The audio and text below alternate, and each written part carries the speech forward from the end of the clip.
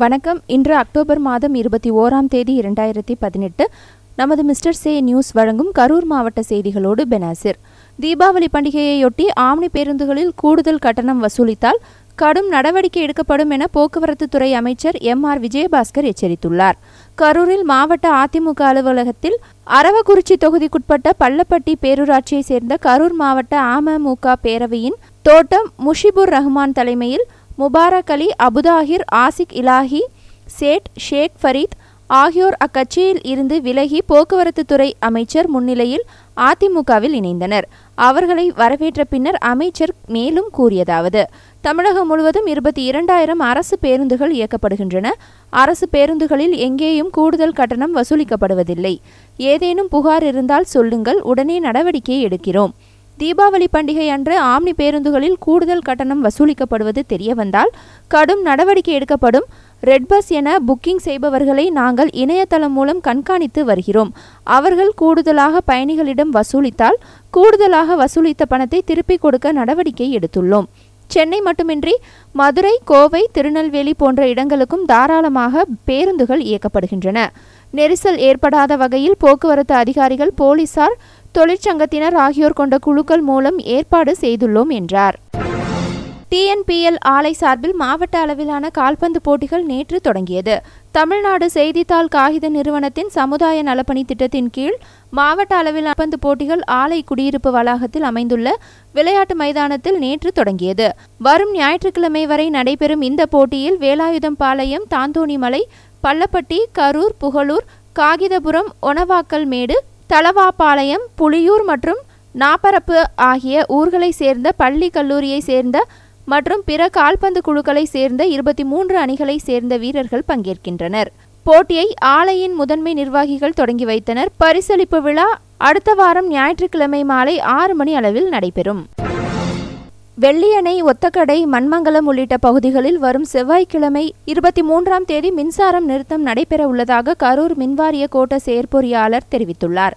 இது தொடர்பாக அவர் வெளியிட்டுள்ள செய்திக்குறிப்பில் கரூர் மின்வாரிய கோட்டத்திற்குட்பட்ட வெள்ளியணை ஒத்தக்கடை பாலமால்புரம் மண்மங்கலம் மற்றும் காணியாளம்பட்டி ஆகிய துணை மின் நிலையங்களில் வரும் அக்டோபர் இருபத்தி மூன்றாம் தேதி செவ்வாய்க்கிழமை மாதாந்திர பராமரிப்பு பணிகள் நடைபெற உள்ளது இதனால் துணை மின் நிலையத்தில் இருந்து மின் விநியோகம் பெறும் பகுதிகளான வெள்ளியணை செல்லாண்டிப்பட்டி பால்வார்பட்டி மணவாடி கே. பிச்சம்பட்டி ஜெகதாபி தாளப்பட்டி முக்கனாங்குறிச்சி விஜயநகரம் கந்தசாரப்பட்டி முஷ்டகிணத்துப்பட்டி ஆகிய பகுதிகளில் மற்றும் வெங்கமேடு வாங்காபாளையம் வெண்ணெய்மலை பெரிச்சைப்பாளையம் அரசு காலனி பஞ்சமாதேவி மின்னாம்பள்ளி வாங்கல் மண்மங்கலம் என்புதூர் கடமங்குறிச்சி வள்ளியம்பாளையம் வடுகப்பட்டி ஒத்தக்கடை சோமூர் செல்லிப்பாளையம் நெரூர் திருமுக்கூடலூர் புதுப்பாளையம் வெடிச்சிப்பாளையம் பெரிய சின்னகாளிப்பாளையம் மற்றும் பாலம்பால்புரம் ஆலமரத்து தெரு ஐந்து ரோடு கருப்பாயி கோவில் தெரு கச்சேரி பிள்ளையார் கோவில் தெரு மாரியம்மன் கோவில் அனுமந்தராயன் கோவில் புது தெரு மார்க்கெட் வீரியப்பட்டி காணியாளம்பட்டி சோனம்பட்டி துளசி கொம்பு உள்ளிட்ட பகுதிகளில் அக்டோபர் இருபத்தி மூன்றாம் தேதி செவ்வாய்க்கிழமை காலை ஒன்பது மணி முதல் மாலை ஐந்து மணி வரை மின் விநியோகம் இருக்காது என தெரிவித்துள்ளார்.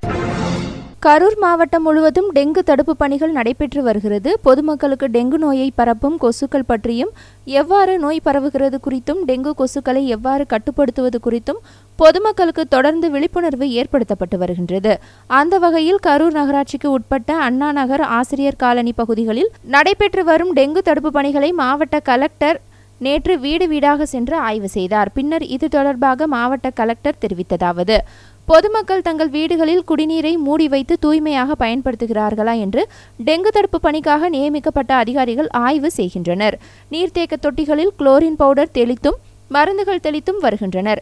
நீரை முறையாக மூடி வைக்காமல் இருந்தாலோ சுற்றுப்புறங்களில் நீர் தேங்கி இருந்தாலோ அது குறித்து போதிய விழிப்புணர்வு வழங்கி வருகின்றனர். ஏடிஎஸ் கொசு குறித்தும் அதன் வளர்ச்சி குறித்தும் பொதுமக்களுக்கு விரிவாக எடுத்துரைக்கப்பட்டு வருகிறது. வீட்டில் உள்ள நபர்களுக்கோ குழந்தைகளுக்கோ காய்ச்சலுக்கான அறிகுறி இருப்பின் சுய வைத்தியம் மேற்கொள்ளாமல் உடனடியாக அருகில் உள்ள அரசு மருத்துவமனைக்கு சென்று முறையாக மருத்துவரிடம் பரிசோதனை மேற்கொண்டு அவர்களின் அறிவுரைப்படி மருந்துகளை உட்கொள்ள வேண்டும் என்று அவர் தெரிவித்தார்.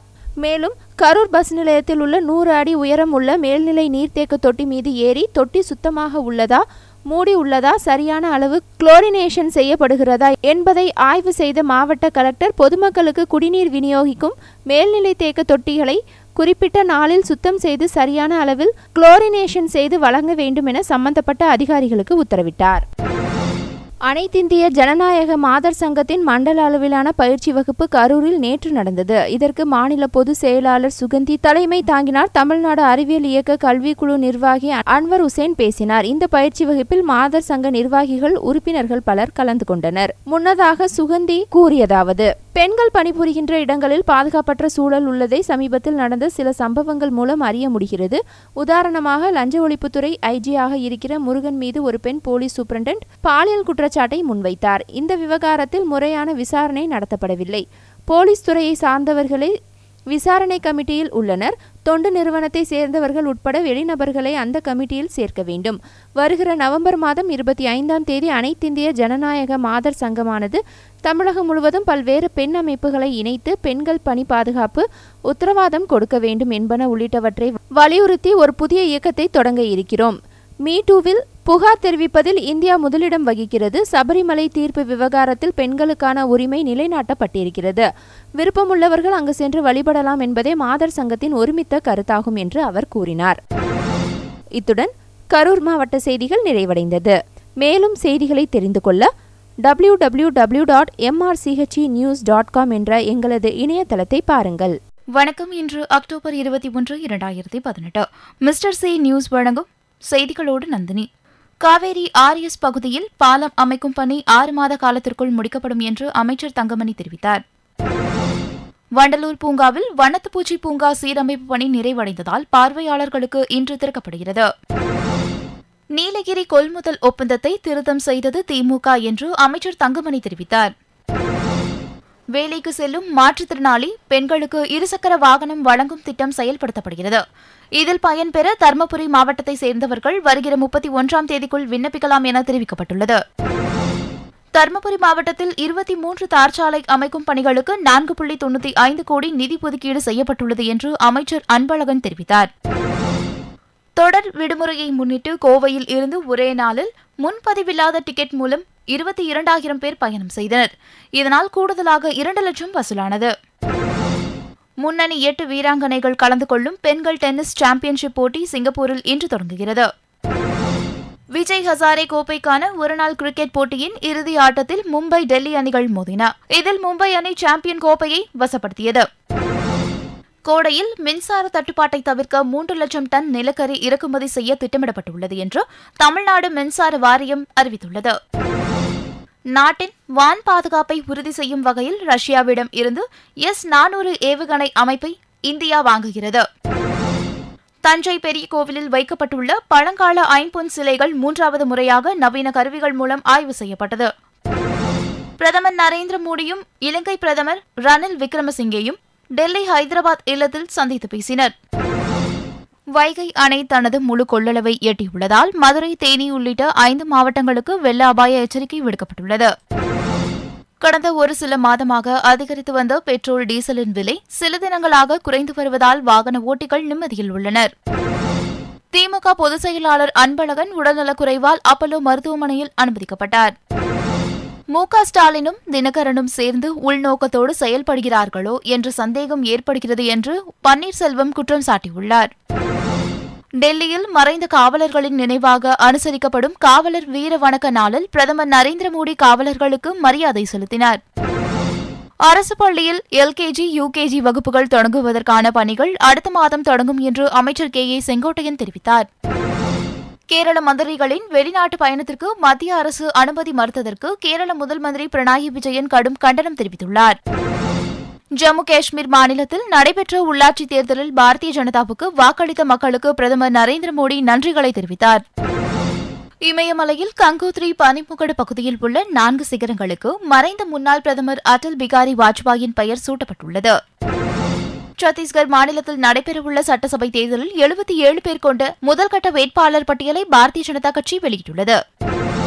இன்று தங்கம் கிராமிற்கு மூவாயிரத்தி முப்பத்தி மூன்றாகவும் வெள்ளி கிராமருக்கு நாற்பத்தி ஒன்று புள்ளி நாற்பதாகவும் விற்கப்படுகிறது.